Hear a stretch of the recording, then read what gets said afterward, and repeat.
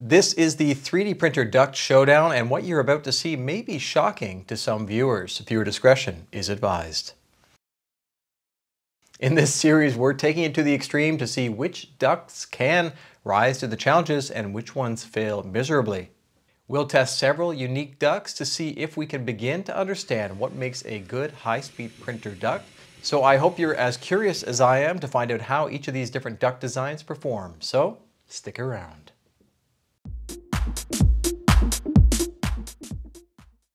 I originally wanted to use my Bambu Matte PLA, but this printer at these high speeds needs the high flow filament to reach the flow rates that I want to run for these tests, which is 60 millimeters cube per second at the max.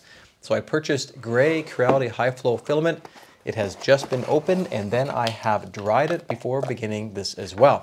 I also have run through each of the filament calibration tests and I'll be printing with the door open. I would like to have the door closed, but it's just far too dark inside to see anything that's going on. I have my filament dryer turned on and also feeding the printer. It also has desiccant inside so that it remains as dry as possible even when the dryer is off at nighttime. My workshop is also temperature controlled, but the humidity will vary a little bit from day to day.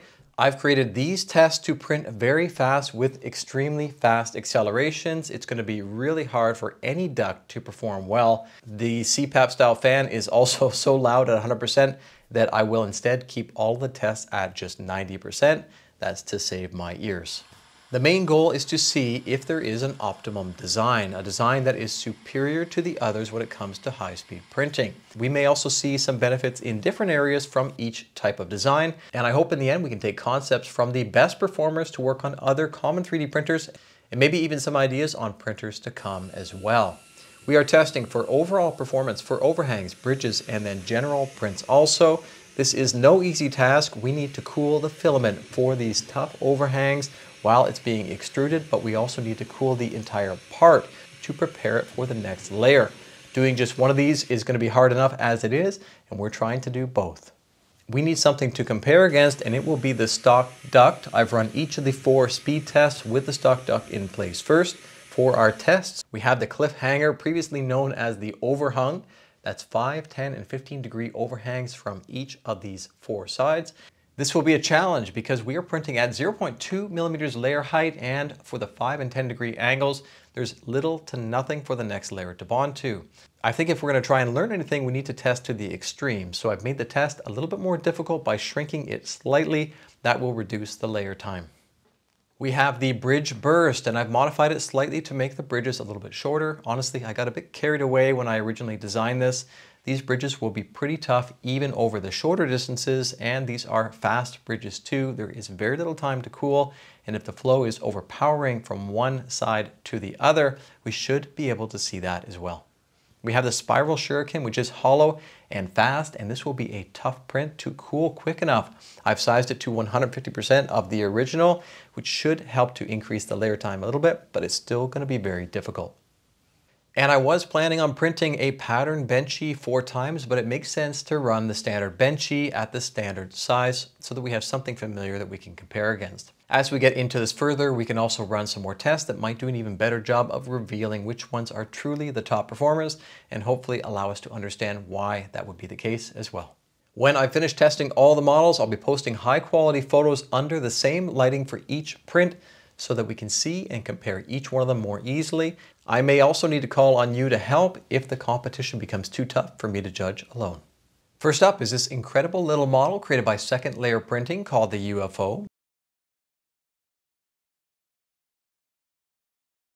This one printed quite well thanks in part to the internal structure to help guide the air. It is compact and relatively heavy at 14 grams for its size, which is irrelevant thanks to the built-in anti-gravity system and dark matter propulsion. This duct is quite restrictive when blowing into it. It wraps around the nozzle very close as well. And when I first saw this, I was actually a bit concerned that there would be no place for the air to go, especially on those first few layers, which are really tight to the build plate. But luckily, the duct is set up with several millimeters of clearance to the tip of the nozzle. That said, there is no clearance to the silicone sock, and that's partially because the heater is actually slightly offset to one side, and I didn't even notice until I tried to mount this duct So we'll have to see if this one melts at all with being that close. The UFO did really well on the cliffhanger test. It was able to cool the filament quickly to set the shape so that it didn't sag too much. This duct is extremely loud and annoying. I had to wear my hearing protection while I was printing with it. And although it did well on the overhangs, the overall part cooling suffered quite a bit for the Benchy and the Shuriken. It was not able to cool the parts quick enough. For the Benchy especially, it produced something more similar to a blob than to a boat. This design also had some trouble on the bridge burst because the air was directed straight down, which then forced the initial bridge layers down as well. It did perform better than the stock duct only on the cliffhanger. Even after all those tests, this little green guy kept on hanging in there with just two pins in the two holes.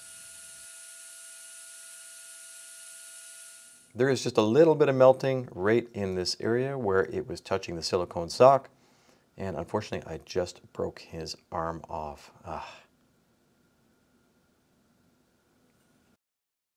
The second is Hero Me Delta, designed by Media Man 3D. This one printed nicely and has very little restriction. When blowing into it, there's almost no noticeable resistance. You have very good visibility from the front, which is nice, especially during testing and recording. It's compact and comes in at 14 grams as well, with a very refined semi kind of geometric shape.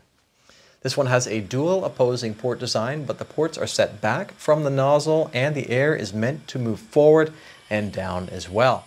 It also has an integrated diverter just below the fan supply inlet.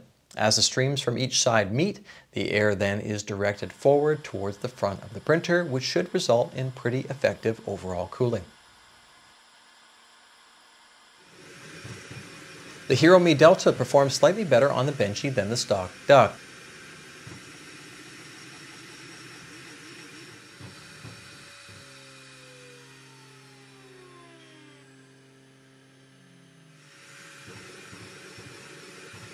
It also had a more uniform result than the stock duct on the Shuriken as well.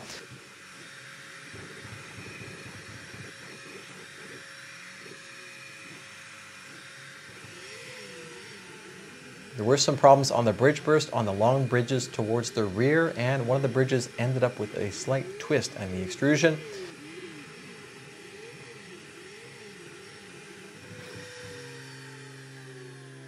This duct did not do as well as the stock duct on the cliffhanger, and that may be in part because this duct doesn't have very much restriction, and the air coming out does not seem to be at very high speeds. The area of the single fan supply is 113 millimeters squared, whereas the area of the two mouths coming out is a combined 136 millimeters squared. This duct seems as though it might benefit from a more powerful fan and a larger diameter supply hose. Next up, we have the Diamond Bull designed by Germ. This model is again quite compact with the flowing curve shapes. It's elegant and it's refined and it comes in at only seven grams. When blowing into it, I didn't notice much of any resistance at all.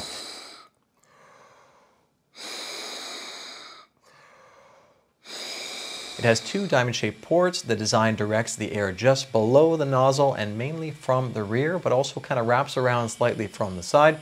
It has an integral diverter thanks to the shape of the ducts themselves. This model printed beautifully with no supports. This one, like the last one, has large mouths, but this time they're nearly the same area as the supply size. The Diamond Bull did the best of any of these tests on the Benchy. It performed better than the stock duct by quite a bit.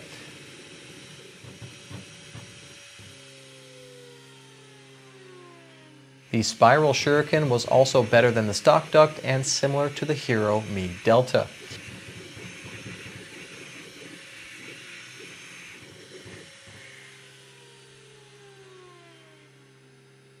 And the bridge burst was okay, but not quite as good as the stock duct.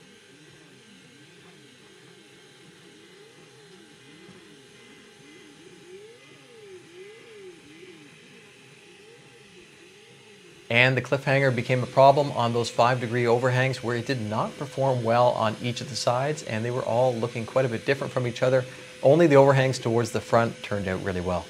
Because these tests are so tough, utilizing as much of the air that the fan can supply without too much resistance is important for overall part cooling, but also some more precise placement of that fast moving air below the nozzle is going to be important for that cliffhanger test. On the other hand, those high-speed airstreams that meet each other in the center cause the air to be redirected down, which causes problems on bridges. I don't know if these are the best of the best, or maybe they're nowhere close to the top. We have 17 ducts left to test. In each of the next videos, we will be testing five or more ducts at a time. So make sure to subscribe and notify as well so you don't miss an episode. We are at nearly 84,000 subscribers, just about 16,000 away from that 100,000 goal by 2025. It is still possible, but I think I'm gonna need your help to get there. And if you want to help support the channel in a different way, I have a very short list in the description of products that I use in my shop on a regular basis that I know perform well. Thank you to each of my patrons for making these videos possible, and I look forward to seeing you on the next one.